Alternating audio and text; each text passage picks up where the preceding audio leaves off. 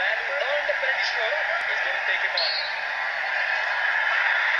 The crowd is on feet as Lucas strikes, and so do the fireworks.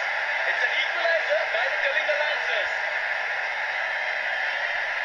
That's what Kalinga wanted, and look at that deception. He showed full right and last minute change of the wrist, sending the goalkeeper the wrong way. Best goalkeepers can get beaten by the last minute change of wrist.